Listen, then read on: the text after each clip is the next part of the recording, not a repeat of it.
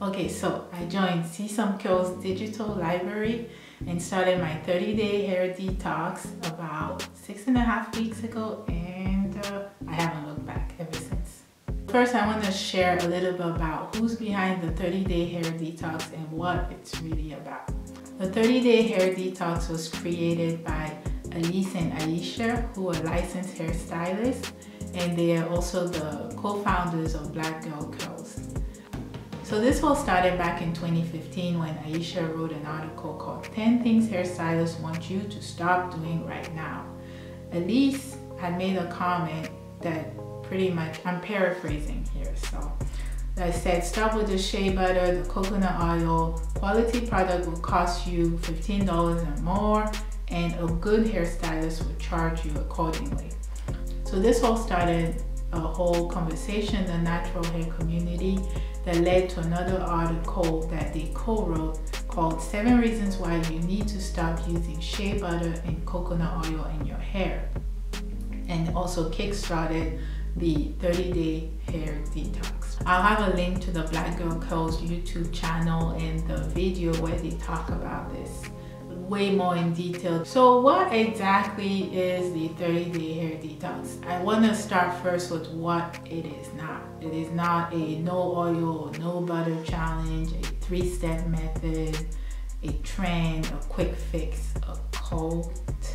No, it's not. The 30 day hair detox challenges you to go 30 days without any raw butter, raw coconut oil, raw castor oil, eco styler, or any product that include them in the first five ingredients. It's not about never using any oils or butters. Elise and Aisha go in depth into why it's better to have those ingredients formulated into products instead of using them raw. The goal of the 30 day hair detox is to reset your mind and your hair from some of these practices that you've picked up along your natural hair journey that haven't been so great for your hair. It really allows you to have a new relationship, very close, a new relationship with your hair. In its truest, rawest, purest so you don't have to throw away all of your products. If you have products that meet the criteria for the no shea butter, no coconut, no castor the first five ingredients, then you can use those. They also have a list um, that of products that you can use. Secondly, you want to be able to cleanse, condition, and style at least every five to 10 days. Really depends on your lifestyle and your activity level. For example, for me, I have a full-time job, three kids. I barely have time to exercise or even have free time for myself. So I was able to do a wash once a week. They do recommend not going more than 10 to 14 days without having a cleanse, conditioning, and style. And finally, you want to have realistic expectations because it's probably going to take you a while for your hair to become hydrated and for the curls to show up for you. So um, definitely give yourself a lot of grace. My first takeaway is in order to, for you to be able to do the 30 day hair detox the right way, you really have to join the See Some Curls digital library. So I joined for three months, which was $105 you can also join for one month, which is $45. And I know for some that is a lot of money. If you're not able to save up for that money, I would recommend um, joining the Black Girl Curls Instagram and um, joining their YouTube channel and really getting majority of your information from them. You could also follow other people that have done the 30 day hair detox, I would highly recommend that you follow people that have actually joined the See Some Curls digital library because then you get more accurate information versus iterations of what people think the 30 day hair detox is all about. Another great thing about joining the See Some Curls digital library is that you'll have access to the See Some Curls Society where you can get questions answered. You can learn from other people that have done the detox. It's been really great for me. I'm still in it. I'm still asking questions because I'm still learning about this whole process. I've only been in it for six weeks. Doing the detox helped me understand that yes, my hair can be hydrated. For so long, I've searched on YouTube. I've tried different regimen, different products that have been recommended to me, trying to get my hair to be hydrated. And it's been such a challenge. And I can say that being in uh, See Some Curls digital library and going through the 30 day hair detox, my hair is finally getting to the point of being hydrated. I have a ways to go, but uh, at least I'm getting there. The next takeaway is that my hair routine can be simple. It's so refreshing to know that I can cleanse, condition, and style my hair in a matter of two and a half hours.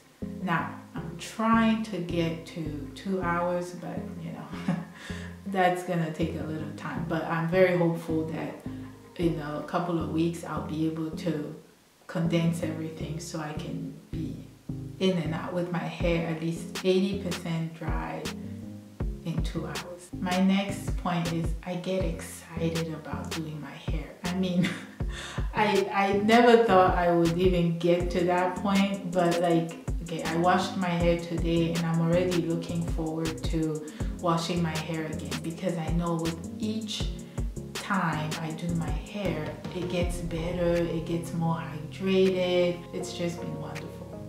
What can I say? If you're gonna do this challenge, you really have to be open and receptive to change. Even for me, the thought of not using any butters or oils was um, really required a bit of a of effort on my part. But I also had noticed that I kind of started pulling away from raw oils because it I, I noticed that my hair was a bit crispy anytime I used it. So I decided why not give it a try. Know, I got nothing to lose doing this. I've tried so many things that YouTube has recommended to me that I was like, well, I could try this and see. And thankfully, it's worked great for me. Next, if you're gonna be in this for the long run, you really should partner stylist. And Aisha and Elise talk about this. They also have a Cut It Kinky Stylist directory. The directory helps you find somebody in your geographical region and I'll have the link listed um, in the description below. So I unfortunately did not find somebody from the list and traveling to another state is not really an option for me at the moment. But I did find a curly stylist that I like. So I'm gonna have my appointment next week. I'm super excited about that. My final thought is I really wish I had found Black Girl Curls and the See Some Curls digital library years ago.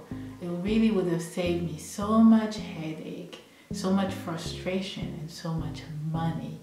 But it's never too late, and I'm, I'm happy to have found them now and started on this new journey.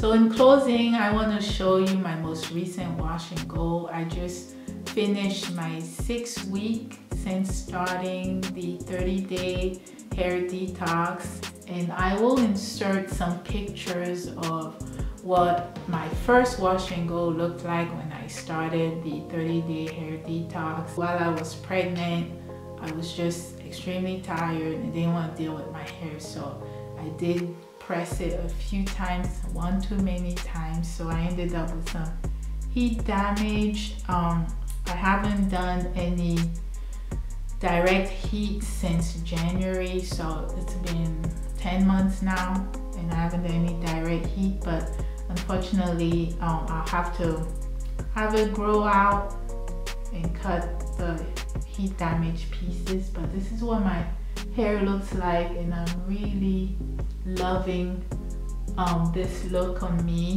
Here's the front and here's the back.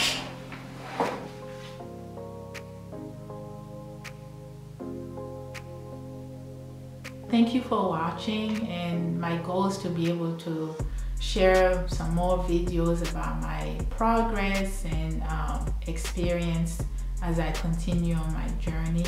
Um, so I'll have links in the description so you can get more information about Black Girl Curls, see some curls, the 30 day hair detox, and also links to um, Aisha and um, Elise's Instagram. Um, if you want to get more frequent updates on how my hair is doing, I post more frequently on Instagram because it's way easier than posting on YouTube and editing and all that. So thanks for watching. Till next time. Bye.